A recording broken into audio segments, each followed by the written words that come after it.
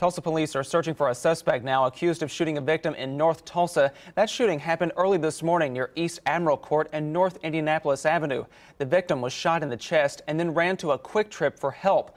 Police say there's not a full description of the suspect right now. The only identifier is a silver car.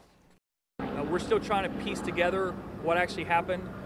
From what it appears, it is a non-life threatening uh, gunshot wound, and he was already transported to a local hospital.